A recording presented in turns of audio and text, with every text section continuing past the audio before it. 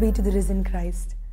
I hope you remember that I told you in the last class we will be greeting each other by calling out to the risen Christ from this session. Alright.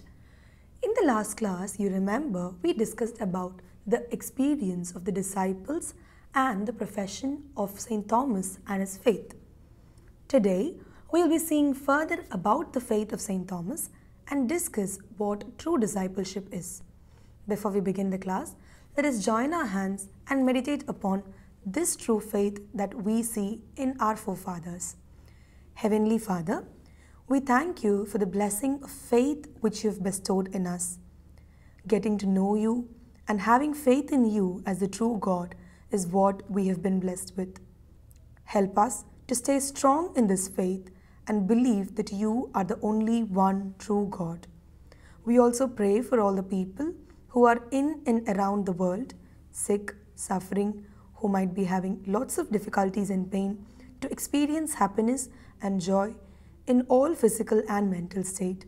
We thank you for the blessings that you shower upon us. Help us to learn the lessons properly and remember what is taught to us in this session. We ask all this in the name of our Lord Jesus Christ. Amen. St. Thomas and his faith was where we left in the last session.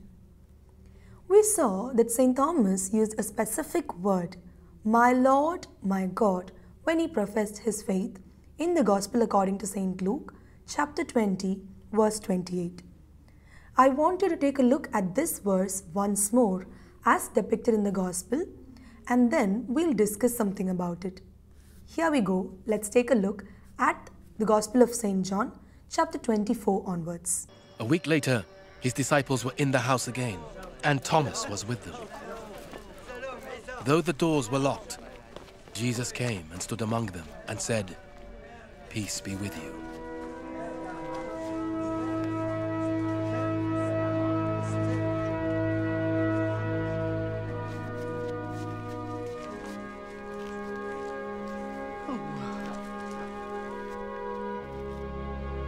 Then he said to Thomas, Put your finger here. See my hands. Reach out your hand and put it into my side. Stop doubting and believe. Thomas said to him, My Lord and my God. Then Jesus told him, Because you have seen me, you have believed. Blessed are those who have not seen and yet have believed.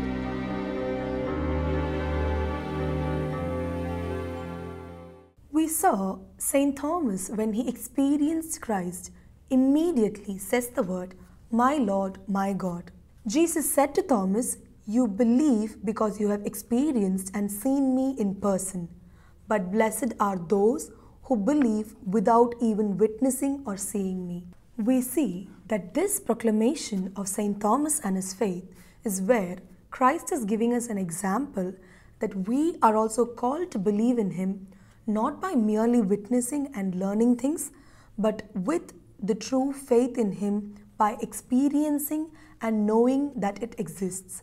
We see St. Paul talking about the same faith in his letter to the Romans, chapter 10. Kindly take your Bible so then we can take a reference in this. In the letter to Romans, chapter 10, verse 9 onwards, St. Paul says, Because if you confess with your lips that Jesus is Lord, and in your heart you believe that God raised him from the dead, you will be saved. By believing with the heart, you are put right with God. By confessing the faith with your lips, you are saved. Here, we see that anybody who believes in God and proclaims that faith with his lips and heart will be saved. The saved here refers to the eternal salvation which God will bless us with for our true faith. We also see in the letter to Hebrews, chapter 11, verse 1, about a distinct definition on faith. Let us take a look at the same. In the letter to Hebrews, chapter 11, verse 1, we read, Faith is the guarantee of the things we hope for and the certainty of the things that we do not see. I read again. Faith is the guarantee of the things we hope for and the certainty of the things that we do not see. Which means faith is something where we might not be sure of what we are believing in, but is a strong assurance of hope within us. Let's put it by the term unconditional hope in a strong assurance called God. Me and you all, you all are quite younger, more younger children, are called to believe in God into this faith. Let me give you a simple example. One fine day, when your parents are going out to work and promise you that they'll get you an ice cream, you do have that hope within your heart okay, this evening, when papa or mommy is coming home, she or he is going to get me an ice cream. When you have this strong belief in you, in your parents, that they will bring you this, by the end of the day when they come, you do see the ice cream in their hands, you know that the faith or the belief you had in your dad or mom is fulfilled when you receive the ice cream. Similar is the case of our faith. But the difference is this ice cream will not be a visibly seen thing. Instead, it can sometimes be invisible hope as well. The hope and belief that God is somewhere out there watching each of us, taking care of us, giving us providence, protecting us from all things evil. This should be our real faith. Not just looking at things, hearing it, and believing it, but knowing that everything will be for good because of the providence of God. From this is where we see and specifically learn the term, My Lord, my God. It is known in the Syriac by the term Marvalaha. Probably this will be your first baby step to know and learn the language as well. In Syriac, Marvalaha, my Lord, my God, is specifically denoting and giving us a symbol of doubting Thomas walking into a Thomas who is the father of faith. The word Allah in this term specifically refers to the meaning my God. Here, this sentence or the verse Marvalaha is also a standing example and the first step of every Christian into the faith that Christ Jesus is the Son of God and the Son of Man. Lord was the term by which the disciples addressed Christ, their Master. And God was the first time ever where anybody addressed Christ, and that person to do it was Saint Thomas. And so, this verse of Saint Thomas, Marvalaha, is the perfect example and a standing proclamation of Christ, the Son of Man and the Son of God. With this in mind, we will now take a look at the true discipleship which was followed by all the disciples of Christ, and we learn it specifically through St. Thomas and this proclamation of his faith. When we see who is the disciple of Christ, what do you think is the answer that you have in your mind? A disciple of Christ is somebody who follows Christ not just in his beliefs, but through all his teachings, life, and the entire footsteps. We see that all the disciples of Christ lived a life like Christ. To see and learn this specifically, we can see that after the death of Judas Iscariot, in the Acts of the Apostles, all the disciples gather together to select and choose that one person to fill the space of Judas we see that Matthias is chosen as the 12th disciple once more. Let's read this verse once more from the Gospel. The criterion for a disciple of Christ is clearly mentioned by St. Peter in this verse. Acts of the Apostles, chapter 1, verse 21 to 22. We see St. Peter says, Therefore, we must choose someone from among those who were with us during all the time that the Lord Jesus moved about with us, beginning with John's baptism until the day when Jesus was taken away from us. One of these has to become with us witness to his resurrection. St. Peter specifically tells and talks that a disciple of Christ will be the one who knew Christ and has experienced Christ right from his baptism until his death and resurrection, which is a clear witness to the life, passion, death, and resurrection of Christ. That truly is one of the criterions and the musts to become a disciple of God.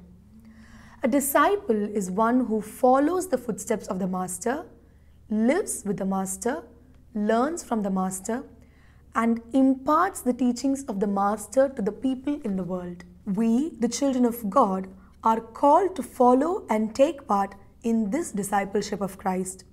We also see further references in the letters and epistles written by the apostles to various churches about the discipleship of Christ. Here, St. John specifically proclaims that he and all the disciples are witnessing and preaching the Christ whom they have seen, experienced, believed, and lived with. Let us read that verse from the Bible to know and have a better clarity. We see in the first letter of John, chapter 1, verse 1, he says, This is what we proclaim. What was from the beginning, what we have heard, what we have seen with our eyes, what we have looked at and touched with our own hands concerning the Word who is life. This life was made visible to each one of us, the children of God, by the disciples through their true discipleship. Hence, we must understand that discipleship and becoming a true disciple of Christ is to follow, know, learn, experience, and live with Christ through each walk of our life and proclaim and teach the same to the people in and around the world. Let us be the little leavens or messengers of Christ who give small pieces of Christ to each people who encounter us. This should be one of the tasks and the obligation which we take up in our life as a Christian. With this discussed, let us take a look at how and why wishing peace has a significant importance in our faith and customs. Lord Jesus Christ, you said to your apostles, Peace I leave you, my peace I give you. Look not on our sins, but on the faith of your church, and graciously grant her peace and unity in accordance with your will, who live and reign for ever and ever. Peace of the Lord Jesus be with you always. Let us offer one another a meaningful and loving sign of peace. We see that during the Holy Mass, the celebrant wishes us, Peace be with you, and we, the laity, respond with, With you and with your spirit. This specific greeting of peace can be related and resembled with Christ Jesus, who addresses his disciples and each of the junctures where he appears to people and wishes them, Peace be with you. സമാധാനം നിങ്ങളോട് കൂടെ when Christ clearly mentions this, it is a blessing that peace has been bestowed upon us, the peace of God. When the celebrant in the Holy Mass wishes us peace and blesses us with peace, we must understand that it is Christ Himself, the risen Christ Himself, who is wishing us peace and giving us the blessings to lead life in peace. We, as the children of God, should take this peace which is within us that has been given by God to the people that we encounter and partake with in life. The same would be the best thing for us to do as a Christian to other people around us. With this being discussed, we have come to the conclusion of Lesson 12, My Lord, My God, where we saw about the profession of St. Thomas and his faith and the term My Lord, My God, which has a significant note and point in the faith of every Christian, and also understood what is true discipleship and what and how we should be wishing peace to the people in and around our life. Take a moment to look into the stories which has been told and depicted about St. Thomas in history and try to write down any one of those stories, submit the same to your catechism teacher. Until we meet in the next class, let us all pray to God to have a strong faith and also believe that Christ is the Lord and God who does things for our good. Have a great day. Thank you.